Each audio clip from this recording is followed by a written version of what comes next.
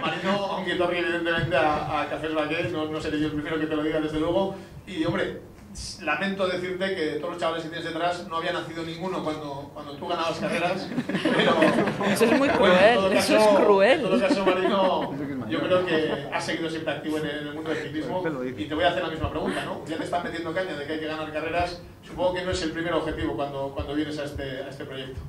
No, no, yo el objetivo mío es ayudarle a Rubén, que es el que me convenció para venir aquí. Yo tengo mucha relación con las hermanas Baquet y Rubén un día me dijo que, que me iba a apuntar como director y yo le dije pues vale, está bien, nada más así de fácil y, y aquí estoy, pero la responsabilidad es de él.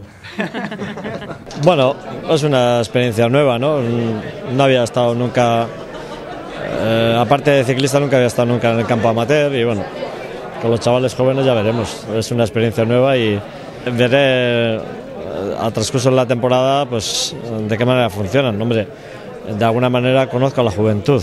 Tengo un hijo también de más joven que estos, pero bueno, que, que en- entiendo cómo funcionan de alguna manera y, y pues bueno, a partir de ahí inculcarles eh, qué es el ciclismo o para qué, para qué están en el ciclismo. ¿no? Bueno, decías que tenías mucha relación con la familia, bueno, con- la empresa Baquet, ¿no?